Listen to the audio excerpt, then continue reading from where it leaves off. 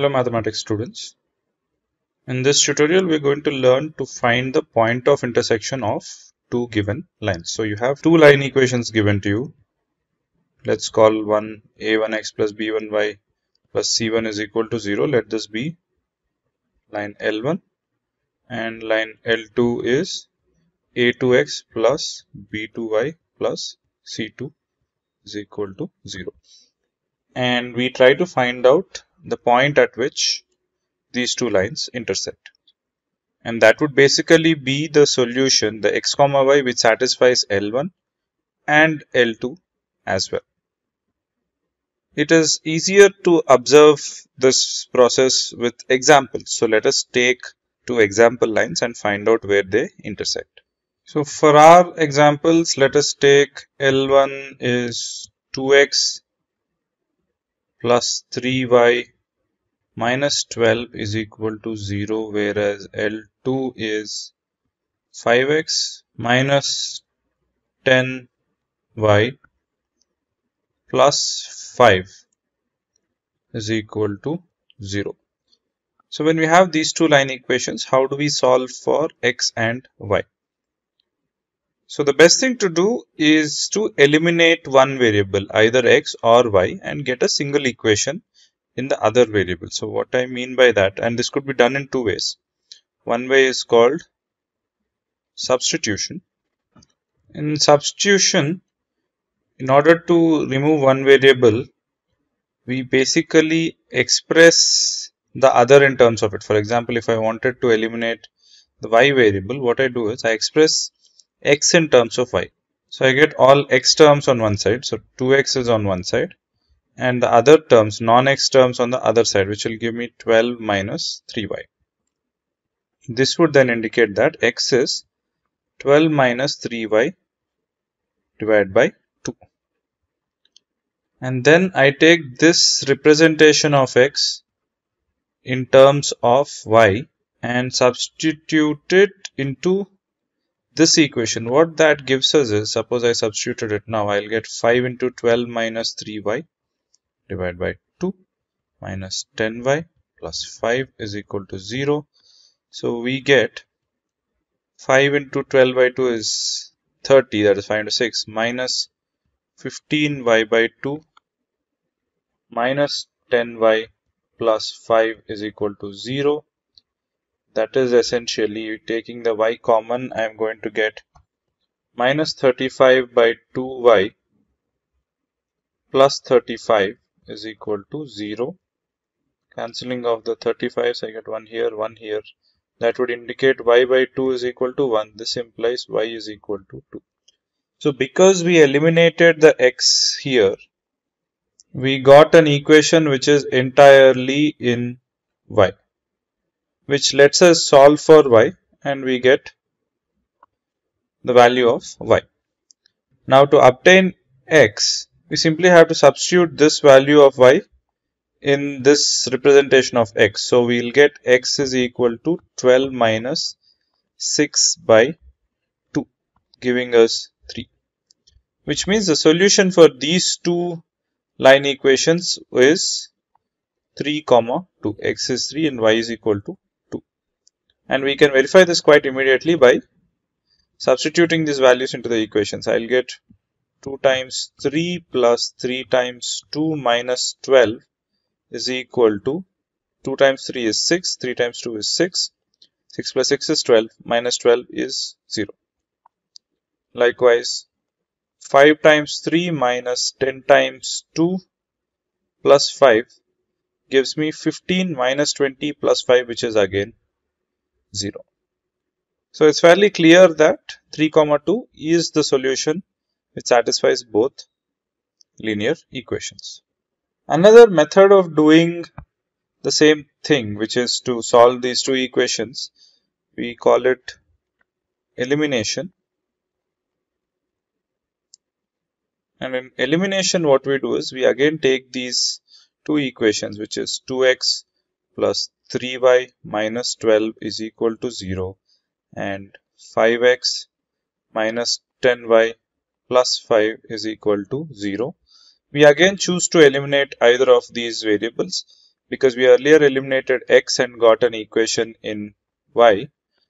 Now I'm going to eliminate y and get an equation in x. And for that what we do is we multiply this entire equation by the y coefficient in this equation which is minus 10. So I'm going to multiply this whole thing with minus 10 and we multiply this entire equation with the y coefficient here in the other equation that is 3.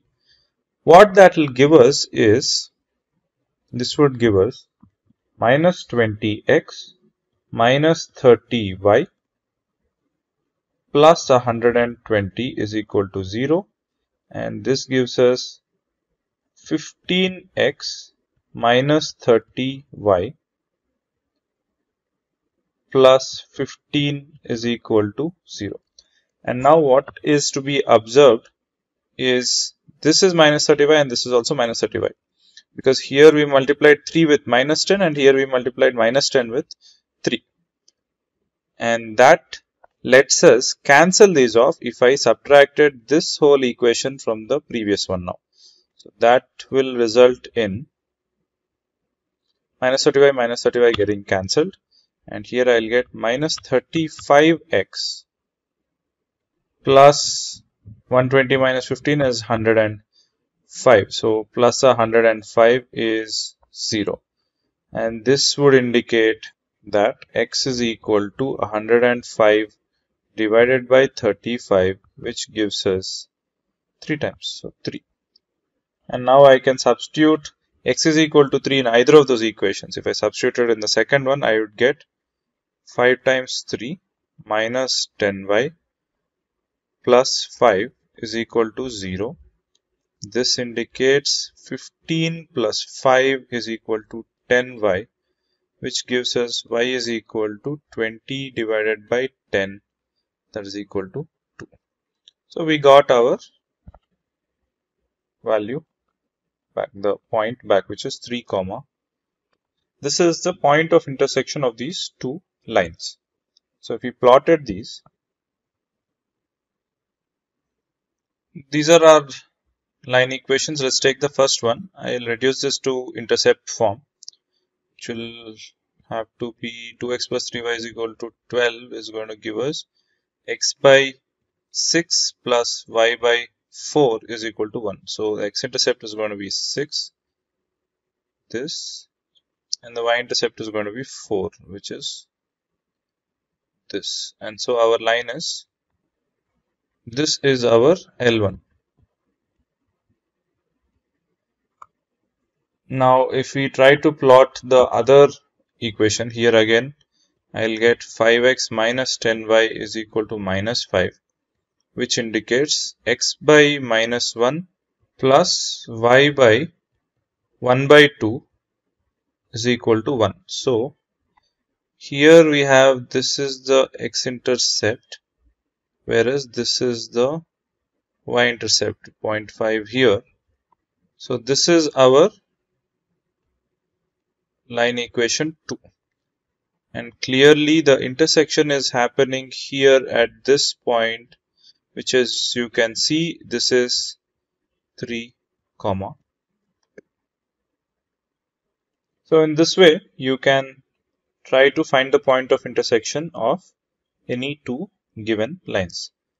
However you're likely to run into a bit of trouble in two cases. And let's see those two cases.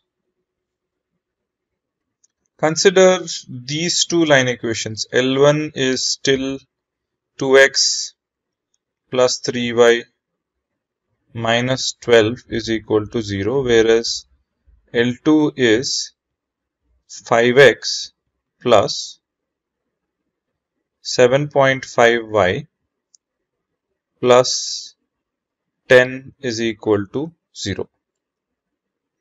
If we try to solve this using the substitution method, for example, we would get, I would, let's say I try to eliminate the variable x, in which case I should be doing 2x minus 12 is equal to minus 3y, which would indicate y is equal to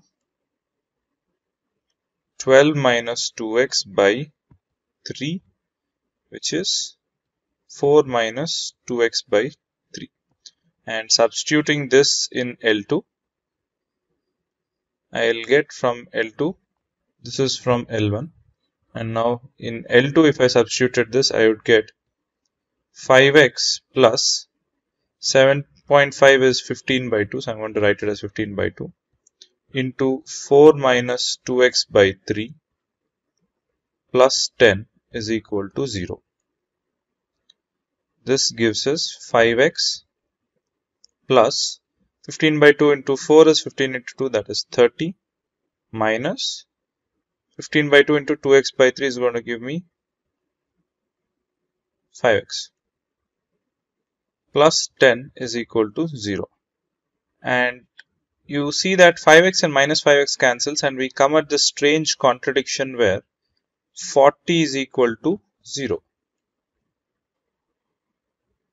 and this is not okay right we know that 40 is not equal to 0 so there is some contradiction we are arriving at and what does this contradiction indicate it indicates that there is no point for which these two lines meet so you can't find a point of intersection for these two lines.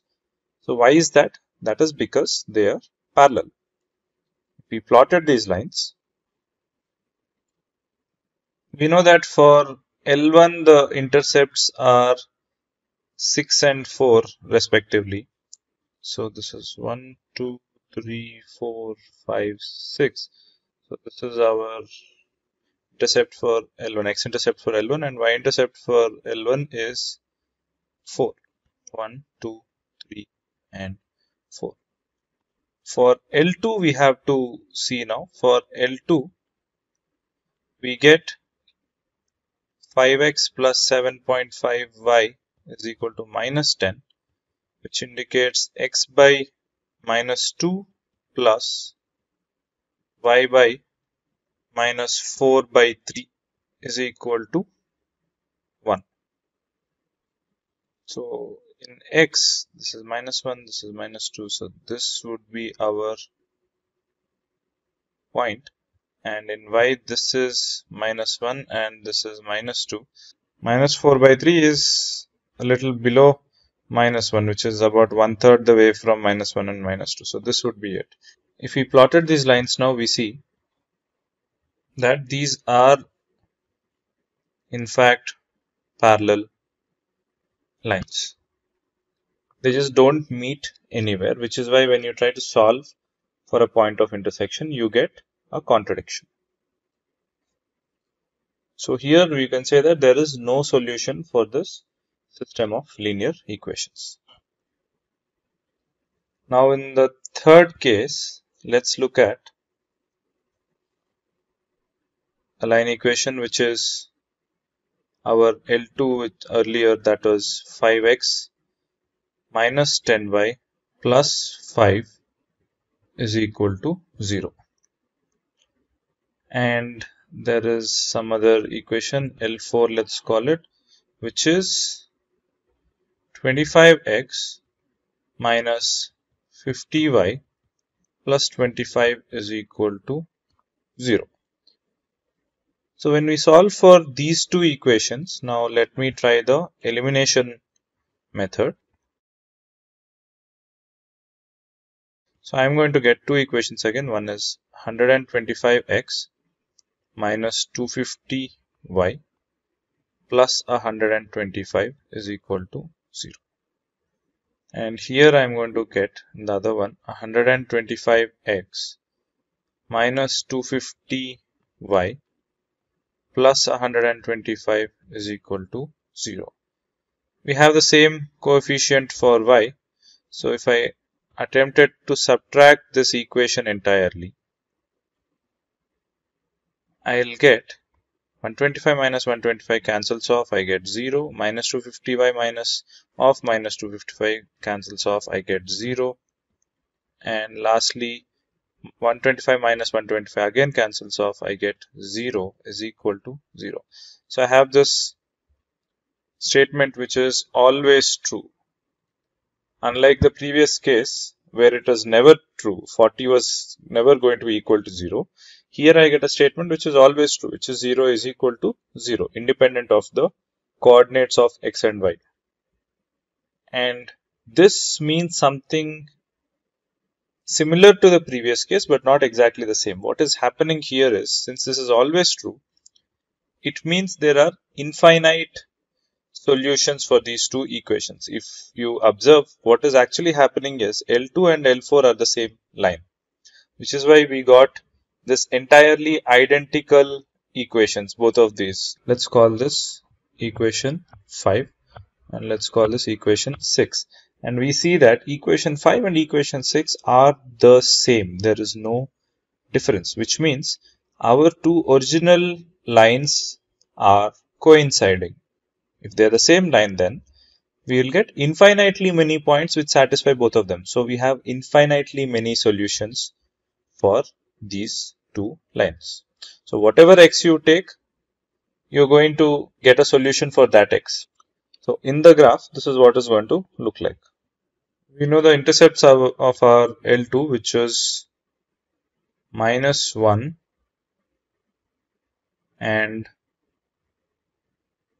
y-intercept was half. So this would be our L1. It is passing through minus 1 comma 0 and also 0 comma 1 by 2 and as we had found earlier it's passing through 3 comma 2 as well. Now let's consider the other equation. Now let's consider the other equation which is L4 and we'll have 25x minus 50y is equal to minus 25. This gives us x by minus 25 by 25 is minus 1 plus y by minus 25 by minus 50 is 1 by 2 is equal to 1. So again we get the same intercepts. And thus L2 will have to coincide entirely with L1 and that is what is happening. They are the same line. So we get infinitely many solutions. When we get a true statement an always true statement independent of x and y in case of the same line that is both line equations are representing the same line